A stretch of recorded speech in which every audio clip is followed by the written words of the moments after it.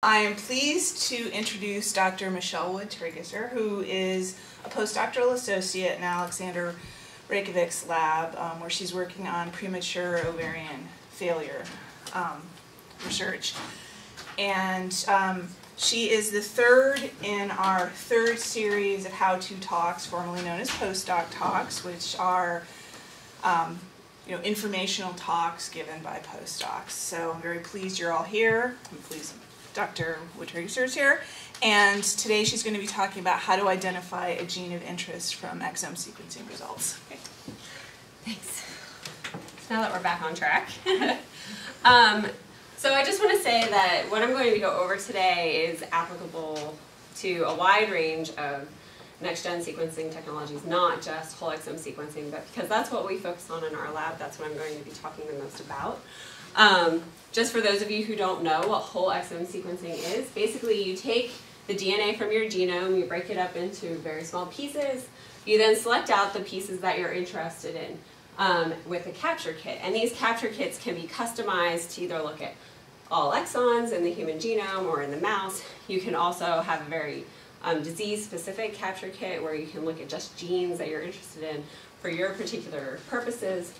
Whatever the capture kit is, you select out these fragments that you're interested in, and then you prepare these selected fragments for sequencing. So once they're prepared for sequencing, you put them on the sequencer and you get back all of this data, that's a bunch of nucleotides. And so what we need to do is to look at these nucleotides and try and find where there are differences compared to a reference. So if we take a reference genome, you can then align your data, and software is available to help you identify these differences. Some of these differences might not mean anything, they might be benign. Others of these differences might be pathogenic and might contribute to your disease. And so depending on the software package that you use, you likely are going to end up getting some kind of very large spreadsheet with a ton of different variants. And so what we need to do is decide which of these variants is actually important and relevant to our disease and which ones are probably not important. And so hopefully by going through these steps that I'm going to go over today, you can take your list from hundreds to thousands of variants long to maybe tens to 50s of variants long. That's the hope, always. So where can you begin? So this talk is actually going to be divided up into two basic sections. The first section is going to go through how to narrow down out of this list of thousands of variants, um, which ones you should hone in on.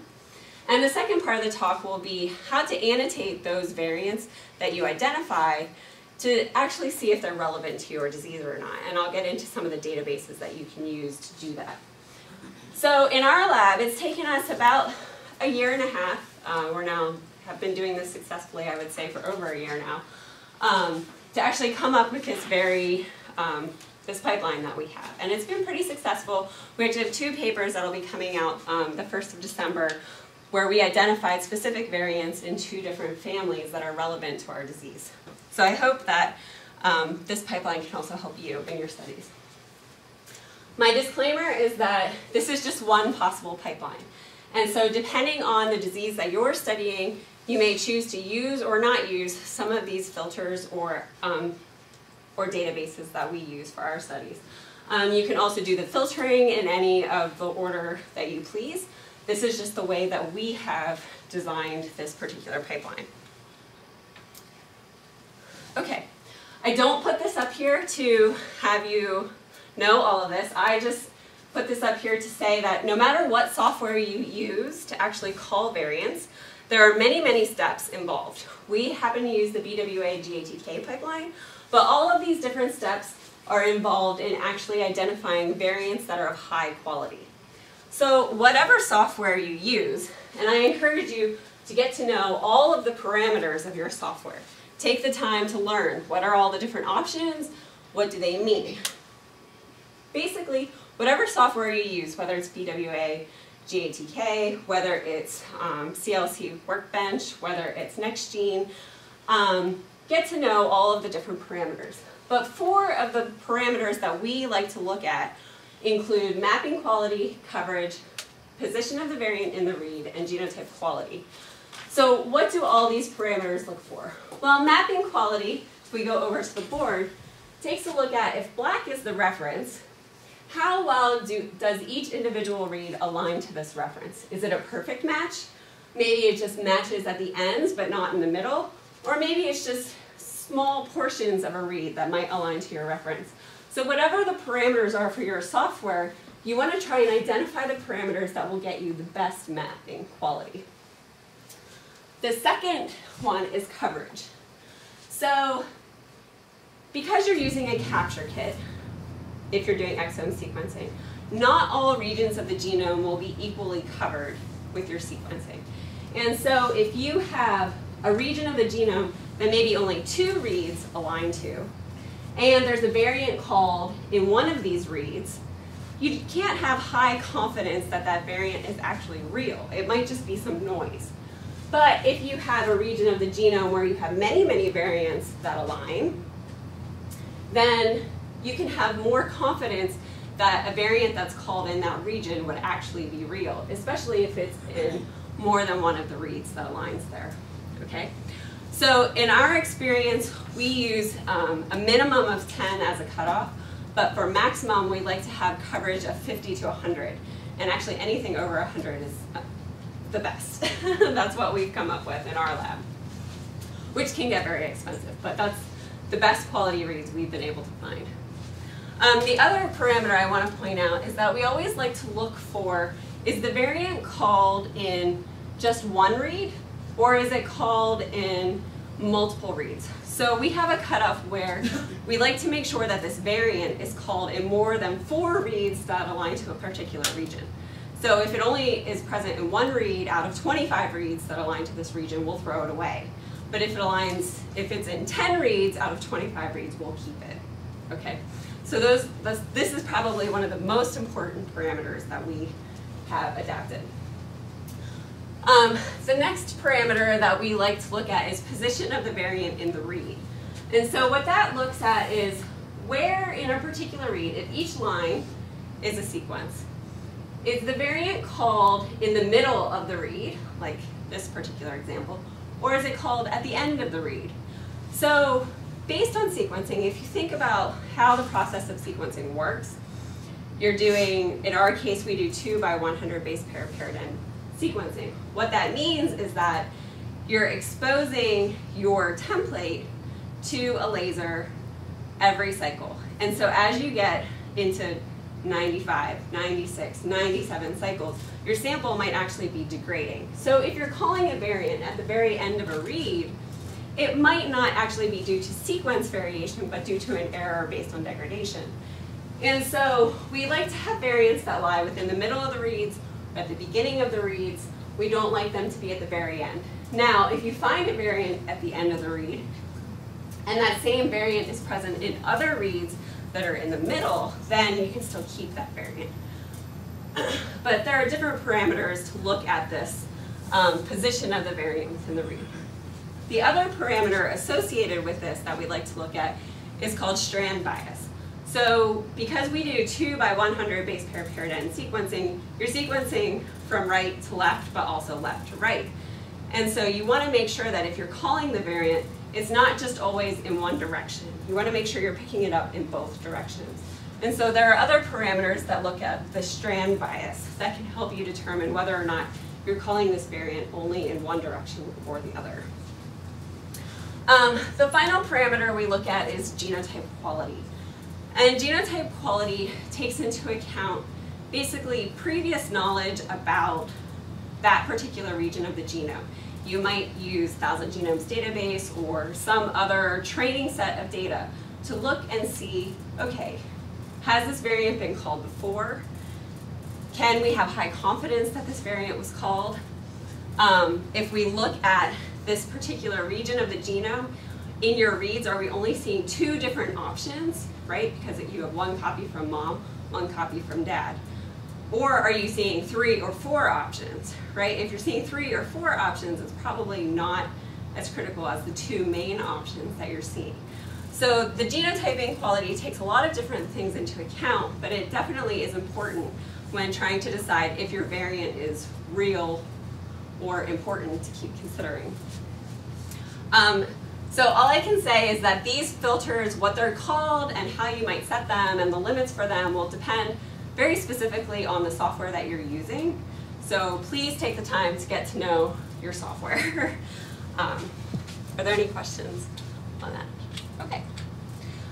So the next important filtering criteria that we use depends on what kind of samples are we looking at? Are we looking at a family? Are we looking at maybe tumor sample versus normal sample? And so what you could use is the inheritance pattern that you would expect for your particular disease. In our case, we like to look for um, for variants that are inherited in a recessive manner um, because in this particular family, it was only in daughters that were in the final generation. It wasn't present in any of the other generations. So we were looking for a recessive gene. So we can look for those genes based on sequencing of other family members that were inherited in that particular manner. And we can eliminate anything else that wasn't inherited in that manner. Or if you're looking, we do some other studies where we look at um, cancer samples and non-cancer samples. And maybe you're looking for things that are only in the cancer samples. You can eliminate anything that's not in the cancer samples. And so using a particular inheritance or filtering criteria based on what samples you have available can really eliminate the number of variants that you have to continue filtering through. Okay. So of course, we're interested in exomes. Um, and we focus on the exomes, well, one, for cost, two, because if there's a mutation in a protein coding gene, you're more likely to have a phenotype for our particular disease. Um, so we focus mainly on insertions, deletions, frame shifts, and splice sites. That's not to say that you wouldn't be interested in regulatory regions. You might be interested in introns or intergenic regions. However, the relevance of those particular variants at the current time can still be a little unknown. Um, now with the ENCODE data that's coming out and a lot more of that information being available, these may become much more relevant.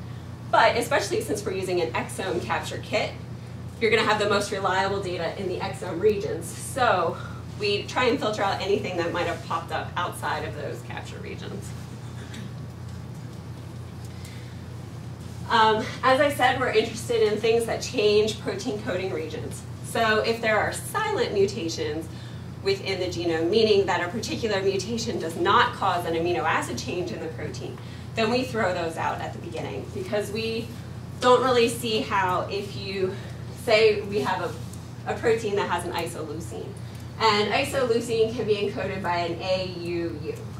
Well, if the U is mutated to a C, what does it mean if it now says AUC, but you still get an isoleucine? right? So that's still really unknown. There are some more recent studies that have come out showing that these silent mutations might be relevant, but for what we're focusing on right now, and if you're trying to do quick and dirty filtering for your particular disease, you know, this is one way you can eliminate some of those variants.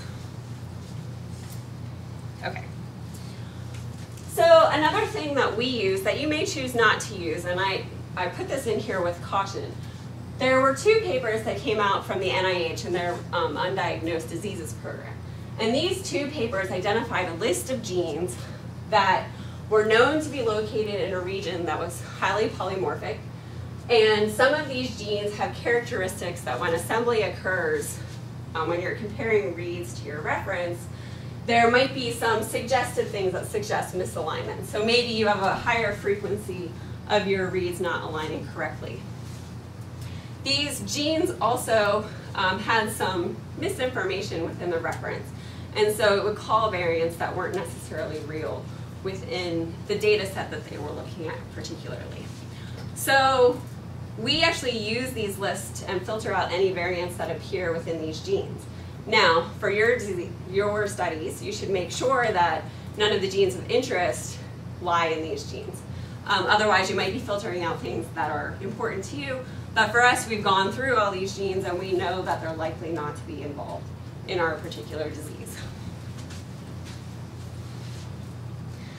Okay, and one of the last, I would say not last, but certainly not least criteria that we use to get rid of variants from this list of thousands is the allele frequency. So it's really important to understand what is the prevalence of the disease within the population you're studying. Is it a rare disease, as it is in our case, where it only occurs in 1 to 4% of women under the age of 40? Or are you looking at heart disease that maybe occurs in 40% of the population? So how frequently would you expect this variant or um, mutation to actually be present within the population? So it's very important to identify, you can use Hardy-Weinberg and calculate it yourself based on you know, um, information that's available in the literature. But it's important to know how frequently you would expect a particular variant to occur within the population. Um, in our case, it's nice because we're looking for things that are very infrequent, so we can filter out anything that is present more frequently. However, in some of the other diseases, this filter might not help you very much. So, okay. So the exome variant server is just one tool you can use to get some information on variant frequency. And I'm gonna switch out of the PowerPoint and just go straight to the website. So this particular website is put up by NHLBI, um, and they've done a huge exome sequencing project. And it's quite a comprehensive list of all the different variants. And so all you have to do, you can search either by the specific variant that you have, or you can search all the variants in a particular gene. So just for example, we'll put one gene in. You can see they have this broken down into two different populations. They have European American and African American populations, so depending on what your region of interest might be. And if you do this, you get all kinds of information about each variant. And so, I don't know, I have a larger screenshot in my um, PowerPoint. Some of the information that's available is allele frequency in the European American population, allele frequency in the African American population, allele frequency in all of the populations they looked at. Um, how frequent are the particular genotypes, and of course it will calculate a percentage for you. And so um, this information, if it's a variant that's been previously reported, can be helpful in trying to get this information to narrow down your list. Now, if you have a truly novel variant, um, it's not going to be present here, right? And so in that case, you're not going to filter it out. You're just going to keep it in your list for the present time. Okay. So hopefully by now, after going through these quality filter checks and things that are relevant to your disease or things that are inherited in a manner that you hope they would be inherited in, you've narrowed down your list to the tens of variants, and hopefully it's still not in the hundreds of thousands. If it is, um, I feel bad for you, but it does happen. Um, and so what we need to do now is try and decide how are we going to annotate these variants and decide which ones are actually important to our disease. So I tried to come up with, okay, how do I logically go through this on a, on a daily basis? And so I came up with a decision tree. And so this particular decision tree goes through, once we have a mutation, um, we go through all the information that's available on that particular mutation. Is it predicted to be damaging? Is it conserved? Has it previously been reported? Maybe it's relevant to our population, maybe it's not. Where is it expressed?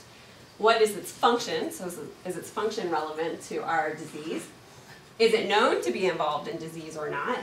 And um, what kind of literature is out there. And so once you go through this whole process, hopefully you haven't discarded all of your variants as variants of unknown significance. That's what the VUS stands for.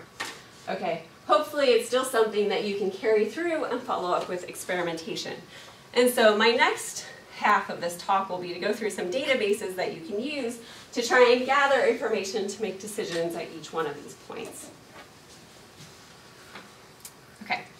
So I come back to exome variant server because it does provide some of this information. And if we zoom in to the far end of the list, one of the things it does provide you is a polyphen 2 score. Now this polyphen 2 score can help you determine if the protein is damaging, probably damaging, benign, or maybe it's unknown. Unknown is not really informative, but if it's known to be benign, then it might not be one you need to keep in your list. Um, if your protein, or if your mutation is novel, but you know what gene it is in, and you know the amino acid sequence of that gene, you can actually go to the Polyphen 2 website and actually do this by yourself. All you have to do is paste in your amino acid sequence here and pick what was the original amino acid, what's the predicted new amino acid, what position does it occur at, and it will calculate for you um, the predicted probability of this mutation being damaging or not. Um, there is also another tool out there called SIFT. This is just another prediction algorithm that you can use to help you determine whether or not this particular variant will result in a protein that is um, predicted to be damaging or not to the function of the protein. Um, exome variant server can also give you some information on conservation.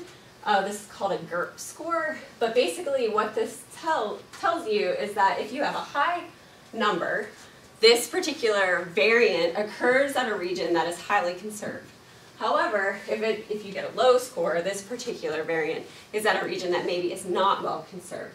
And so we use this as a filter in our lab because we think that if it's not in a conserved location, meaning maybe this uh, nucleotide is not present at the same place in mouse, in monkey, in some of the lower species, maybe it's not as critical to the function of the protein as it would be if it's a, um, a nucleotide that is highly conserved.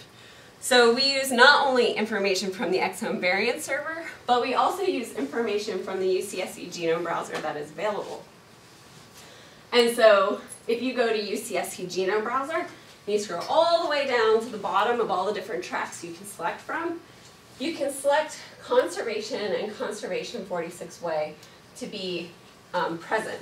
And this will give you this information down here at the bottom. And this particular information, um, you can zoom in down to the amino acid level, and you can specifically select the different uh, species that you're interested in. But one thing that we also like to do is to look at the nucleotide conservation at this level. And so a trick that we've learned is that if you right click on the track and you go to configure multi-align, you can then select any particular species you're interested in and you can also switch between no codon translation to give you the nucleotide, or you can keep the translation and look at the amino acid. So you can use one tool to look at both amino acid conservation and nucleotide conservation across species. If you click OK, it will apply all of this information to the particular tracks you're looking at. And so you can see that this particular amino acid is conserved all the way through all of these different species, but this um, nucleotide is not as well conserved through all the particular species. So this is just another piece of information that we use in trying to determine whether or not we're going to keep a variant in our list. Okay, so these tools that I've um, showed you so far, you can get some information on whether or not this variant is predicted to be damaging. You can also get some information on whether or not this variant occurs at a conserved location within a particular gene. And hopefully you still have variants in your list that you can keep going through the decision tree and you haven't thrown them all out. So the next thing we like to look at is, um, was the variant previously reported? If you've already looked in the exome variant server, you'll know whether or not your variant is present or not. Um, and does it occur in a relevant population? So, again, I just point out that the exome variant server has two different populations that it looks at. Um, another resource you can use is dbSNP. dbSNP can provide another read for allele frequency. And if you scroll all the way to the bottom, for some of the variants, you can find some information about is it present in a European population, Asian population, sub-Saharan Africa, depending on the variant. Now, not every variant has all of this information, um, some of the more highly annotated variants do. One caveat I have to say is that both of these databases are limited in that you don't know anything about the populations really that are present in these databases. So in our case, we're interested in infertile women.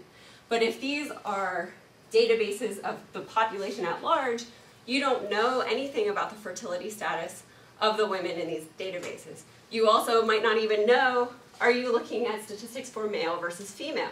And that might have an impact on your studies. So these are just important caveats to keep in mind before you filter something out just because it's already been reported. Um, so that's why in this decision tree, the relevant population I leave kind of as a diamond, as an unknown. Like you really have to know if what's been reported is an irrelevant population before you can proceed. Um, so either way, the next step would be to look at the expression uh, pattern for your particular variant, or the gene that your variant is affecting. And to do this, um, I think we're going to talk about expression and function kind of together. You can use similar databases for this. One of them that we use is called EST profiles, which is present in the UniGene function of the NCBI suite of packages.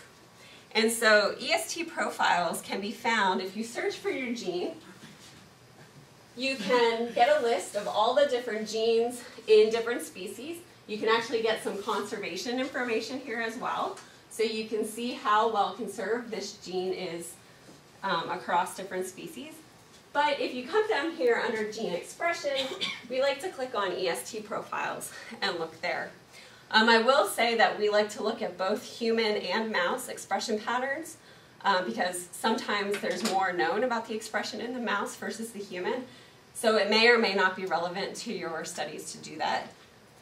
But once you click on EST profiles, they have a large list of different tissues.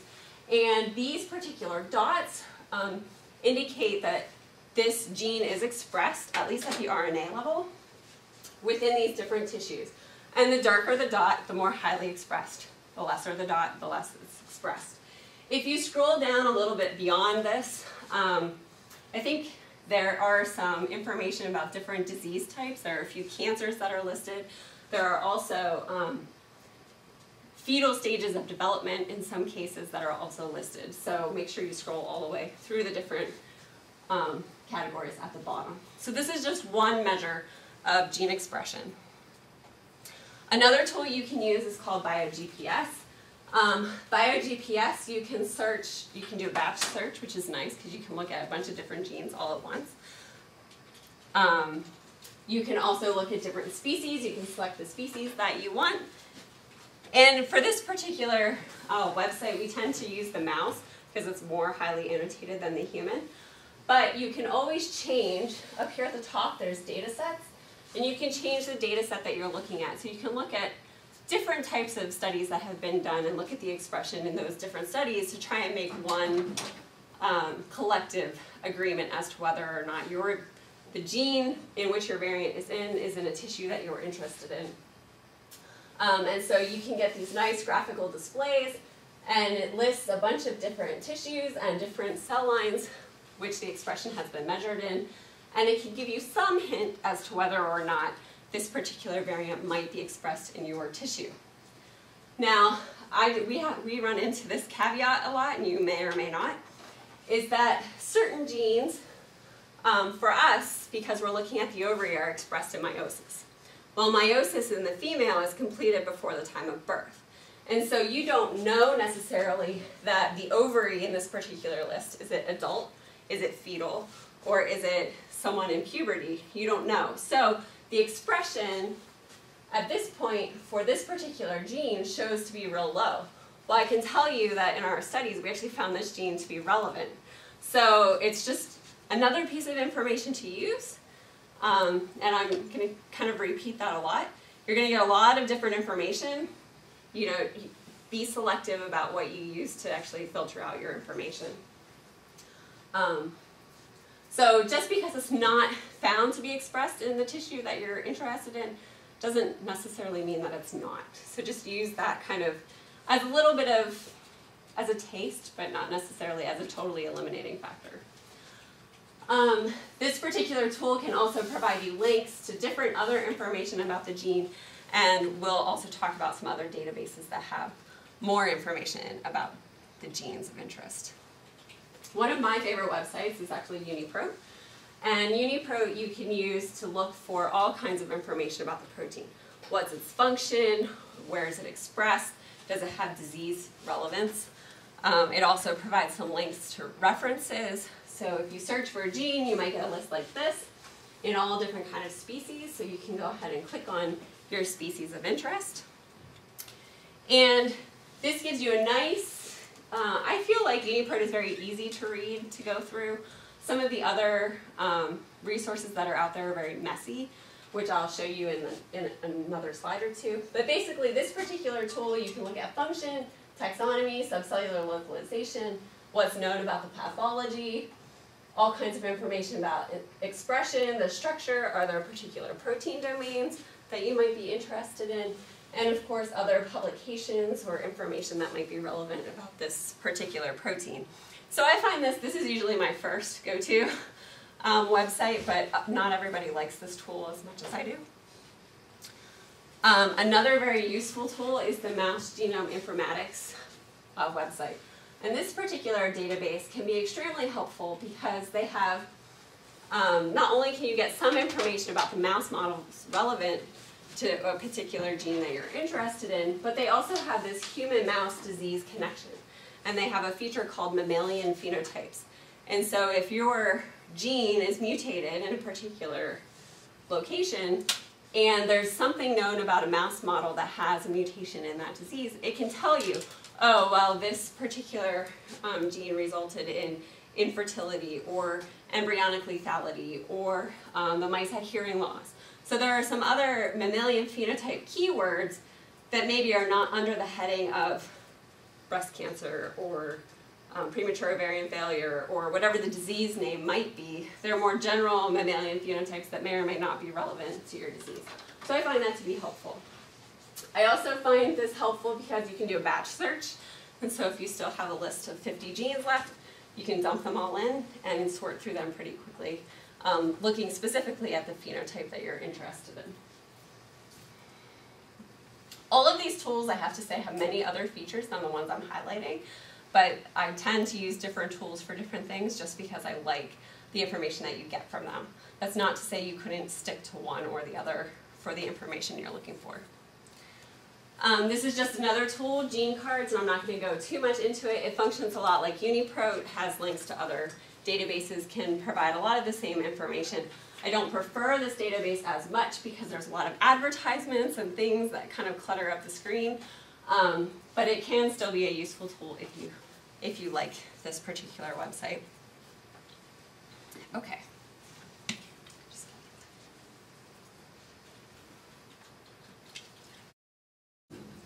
So now we know, you know, where is our gene expressed?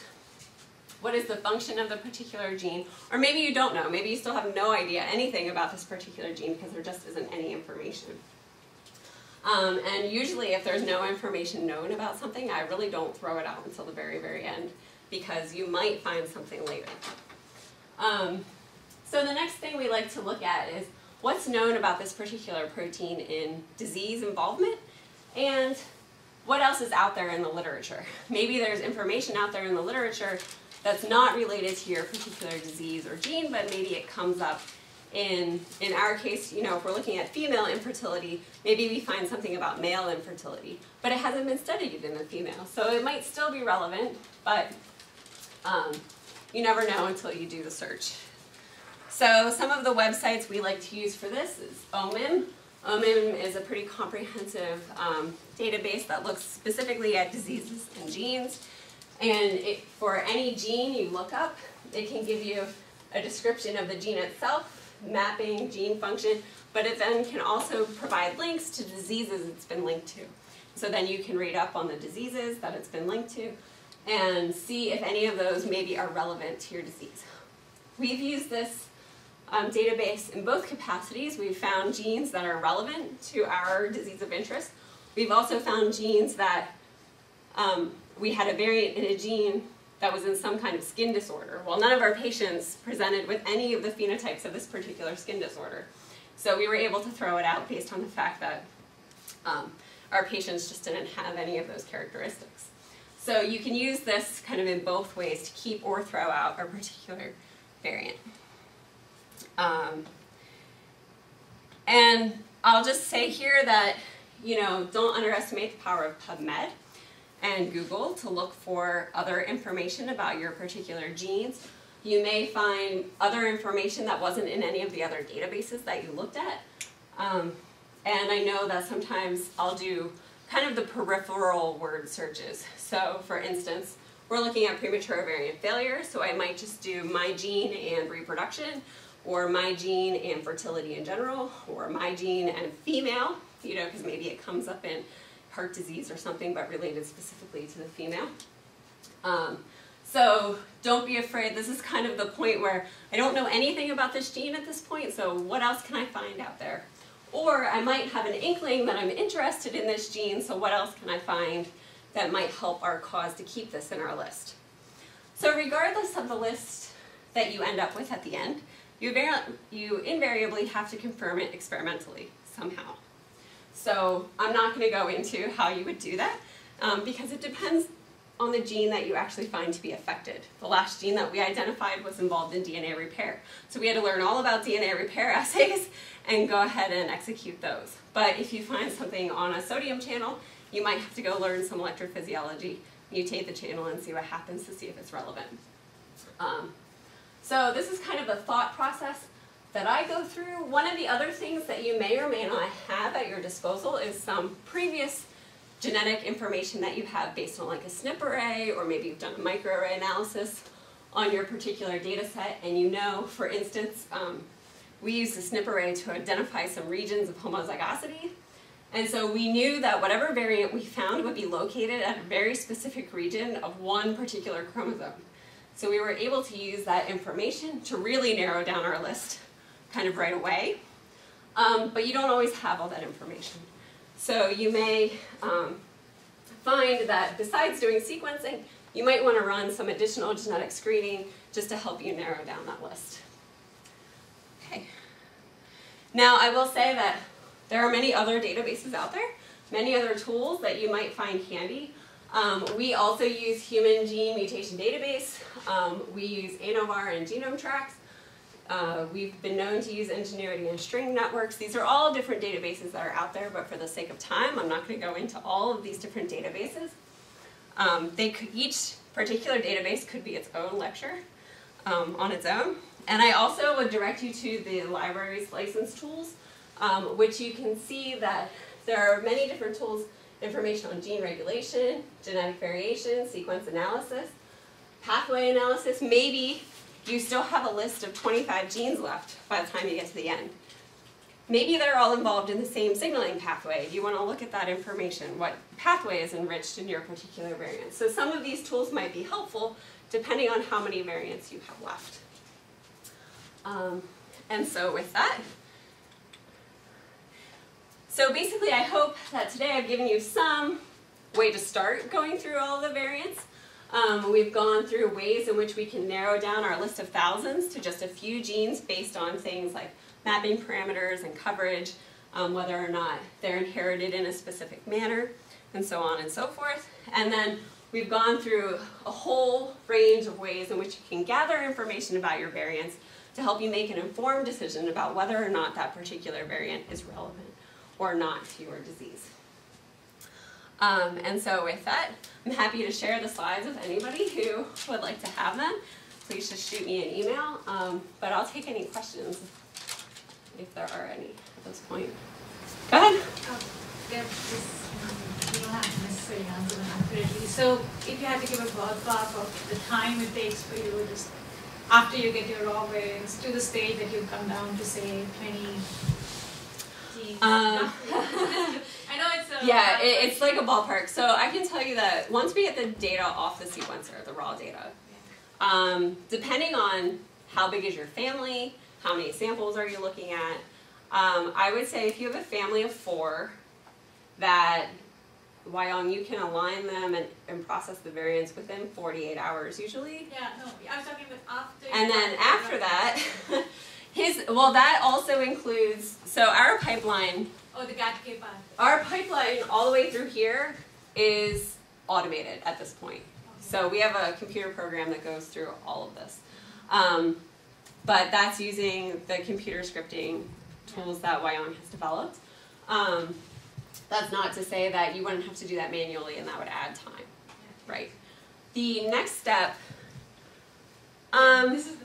Depending on how many variants you have and how familiar you are with the tools, I would say I can go through a variant in about 20 minutes and make a rough decision about whether or not it is. Now, at the beginning, it took me a lot longer because I wasn't really sure what information would be the most relevant or the most helpful. Um, I was still learning how to use the tools. So it might take you, you know, an hour or two per variant if you're just getting started. If that's like a rough idea. Ahead. How likely is it you'd go through this whole decision tree and end up with nothing? Um, it's happened. it's happened. So then usually you have to take a step back and say, okay, well, I filtered out some variants somewhere along the way because we thought they weren't relevant. So why might that be? Um, so then I go back and I, I usually kind of go in the reverse order. So, oh, I threw this away because of function. Well, is there anything in my tissue that might have this function and could this be relevant?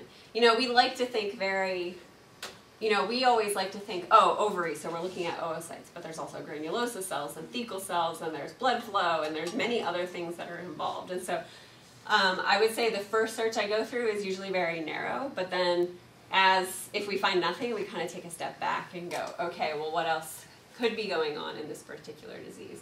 Um, so then if you've gone all the way through and thrown everything out, then I usually go back one filter at a time and see what else could be there. Um, we've also gone all the way through and ended up with a list of five genes, and we have no idea. We don't think any of them are relevant. um, and so then we have to do, you know, a little bit more digging to try and say, okay, um, you know, what does this particular gene do? Can we test it somehow? Is there a mouse model available? We've called up people that had mouse models and say, hey, can you send us ovaries? You know, do these mice have any phenotype? you know, related to fertility. Um, and we've gotten them and we find that there's no issues, you know, and so then you can rule that out. But it does take a little bit of, you know, a little bit more than just your typical search online. You have to do a little bit of experimental work to try and figure that out. So it does happen. Um, I would say we've done about 10 or 15 families and we've definitively identified a cause in maybe five at this point. So it's definitely not a cut and dry solution. Other questions? Go ahead. Um, this might be a stupid question, but uh, There's no stupid questions. so uh, in the in it that you start from the beginning, you start from like the VCF files, like the variance calling files for individual sample, and then uh, do you lump all samples? uh, If you have ten people, Mhm. sample of two people or ten people, do you lump everything together, do the pipeline, or you need to do the same for individual person like? So it depends what you're looking for, right? So in our particular case, if we're looking for something that's autos is inherited in a recessive manner, then we would take all of the information, apply our inheritance filter, and get all of the variants that come out that are present in those daughters. But if you're looking at, say, um, there's a sibling in the family that has a unique phenotype, then maybe you want to look at just all of the variants in that individual and then compare those results to the other family members to say what's different. You know, so I, I can't definitively say, yes, we always look at every individual because it really depends on the type of analysis that you want to do. Does that does that help? Okay. I would say that the inheritance, if you have a family and multiple family members, especially unaffected siblings of the same sex, is probably the most powerful tool you'll ever have in going through your variants. Hey, it's a great hmm? talk. Thanks. I have one question. For these family studies, how many variants normally, just to get an idea, normally you start? I mean, before filter. Before filtering, what, 30,000 variants per person? Per person. Per person. I so after uh, filtering and all those things, uh, how, I mean, before putting those, you know, database searches and all Mhm. those things, how many uh, normally, from thirty thousand to? Um, some of the families more recently, now that our pipeline is more mature, we end up with two or three. Other families, we end up with 15. So it really, it depends on, um, we've had the fortune of having some consanguineous families. So that helps us get rid of a lot of variants. If you have like an American outbred family, you're probably going to end up with more variants to go through. And the other question I have is, uh, I think I will get, uh, get access to the PowerPoint. I Mm-hmm. want to know those two paper, uh, NIH, you mentioned. The two papers? Yeah. That's why I threw them in the PowerPoint, just so we had those. Okay, go ahead. Um, This might be more specific because uh, you put it in the wildcard category in the original Mhm. slides. The, do you often observe, because the reads probably span the exome splice site Yeah. junctions, do you sometimes get variants in those? Yes, yes, we have identified And splice site. Um, we, we always look for the exon plus or minus ten base pairs on either side. Um, and we have identified, one of the papers coming out is actually a splice variant that we Yes, so identified. my buddy is always, I'm never sure if that's actually a good variant or not, because I don't know, maybe the aligner did something mapping part, you know, with the splice junctions and things like Well, that. you, you don't I mean, Yeah. it's, we've been fortunate to get cells from some of these patients, and so we were actually able to look at the Okay. splice uh, isoforms that were available in the cell lines, and so we were able to confirm it that way. Um, any variant, before we pursue other experimentation, we always validate with Sanger sequencing. Some people might say that that's not necessary um, at this point, but we, just as a double check, we always make sure, and I think in the last year, almost everything we've done has been validated by Sanger sequencing. Other questions? Thank you. I have a couple of announcements here. One is she mentioned that UCSC Genome Browser, uh, December four and five, we have two whole day workshop here in the uh, fourth floor of Scaife Hall. And UCSC folks will come here and they will offer the workshop. The other thing is, uh, how many of you, um, uh, can you make any comment on, have you ever tried uh, Genome Trax? You, you mentioned that you, uh, and what is your, uh, because we have the license. And Right. it's not at all used. At all used means not heavily used at all. I was gonna say, why don't, maybe you can comment I- on I that use a little bit more. I use it a lot, so. You use a lot and it is, to me, when I tried, I thought why people are not using it. It's ridiculously simple. Yeah. You can put the The, the, VCF the Genome Trax can give you almost all the database Michelle All show here. together, Yeah, so you, exactly. you can get the DB SNPs, you can get the HGMD, you can get the, uh, the GWAS, you can get All the, together. yeah, all All together. together. So an, uh, another good thing for the Genome Trax is uh, it also accepts the batch file. You, you The don't need, yeah, yeah, you don't need to look the uh, variants one by one. Actually, you, you can just paste hundreds, even thousands variants, and uh, then you can get uh, big tables.